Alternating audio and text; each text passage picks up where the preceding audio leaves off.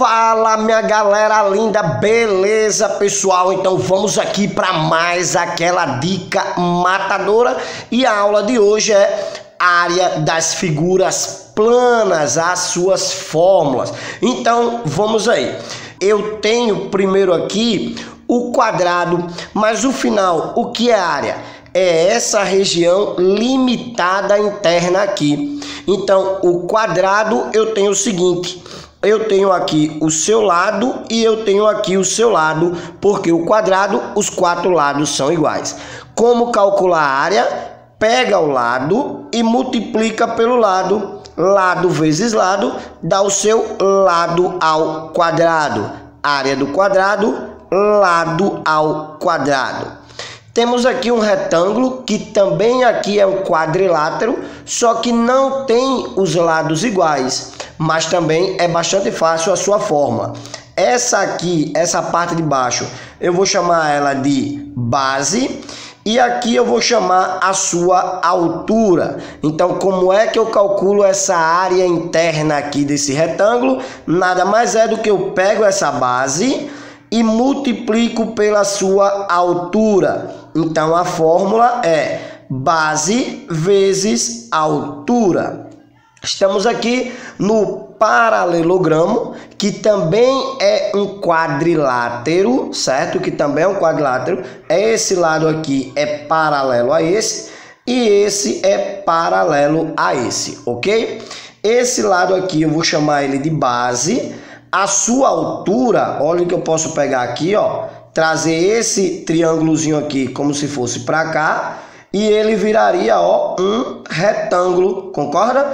Então a fórmula é igual à fórmula do retângulo, aqui é base vezes a sua, ó. aqui não é altura, a altura não seria isso aqui, então seria base vezes a altura. Esse aqui são os três principais: quadrado, lado ao quadrado, retângulo, base vezes altura e paralelogramo, base vezes altura.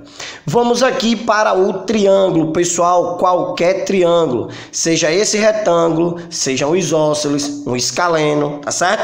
Qualquer triângulo, como é que se calcula? Esse lado aqui é a sua base, aqui ó, a base, é o que eu pudesse deixar assim, tipo, em cima da mesa. Isso aqui é a base. Esse aqui é a sua altura. Qual é a fórmula para calcular essa região, para calcular a sua área? Ó, base vezes a altura. Eu pego esse resultado e divido por 2. Está aqui a fórmula. Base vezes altura dividido por 2. Vamos agora ao nosso losango.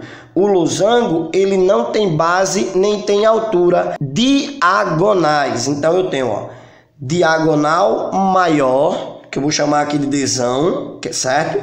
Que é esse lado maior. Você vê que essa diagonal aqui é maior do que essa diagonal. Então, ó, diagonal maior, diagonal menor, que eu vou chamar de desenho.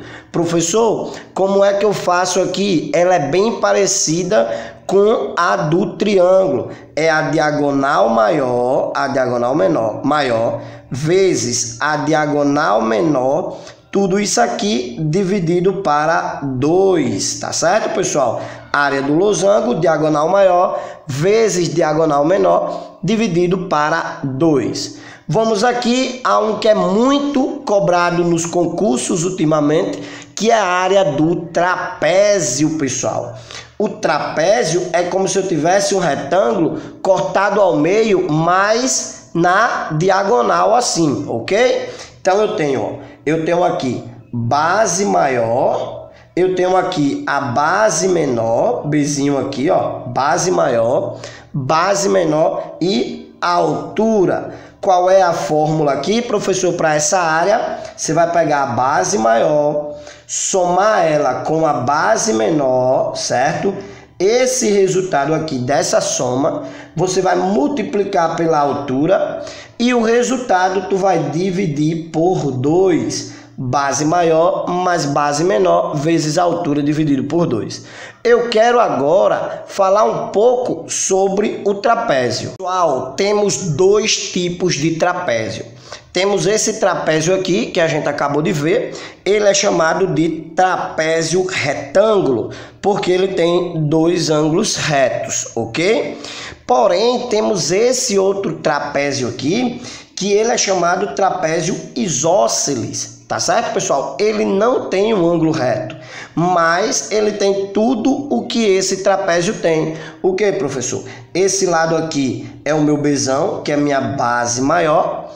Ele tem essa parte de cima que é a base menor, só que a altura dele é, a altura desse aqui ele está externo, ele está pelo lado de fora, a altura desse aqui está interno, é essa daqui, ó, beleza? Então a altura dele está interno. A diferença desses dois é porque a altura desse está externo, a altura desse está interno.